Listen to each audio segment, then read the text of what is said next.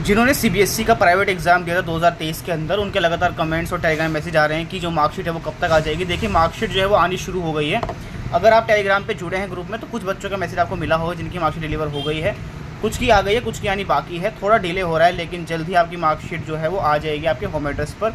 हर साल आती है तो आ जाएगी, लेकिन थोड़ा डिले कई बार हो जाता है। तो इस बार थोड़ा डिले लग रहा है, लेकिन कोई बात नहीं, आपके एड्रेस पर आ जाएगी। अगर नहीं आए तो आप तब तक डिजी लॉकर की जो मार्कशीट होती है, उसको कहीं भी उपयोग कर सकते हैं जब तक आपकी ओरिजिनल मार्कशीट आपको ना मिल जाए।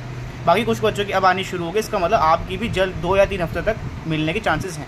ठीक है, ये उन सभी के वीडियो ये वीडियो उन सभी के लिए जिन्होंने पिछले साल जो चैनल ज्वाइन किया था और इस बार प्राइवेट का एग्ज़ाम दिया है, जो अगले साल देने वाले हैं। उनके जो फॉर्म है वो सेप्टेम्बर में आएँगे और जो कंपार्टमेंट एग्ज़ाम जुलाई में होना है, उसकी डेट शीट आपको मिल चुकी होगी।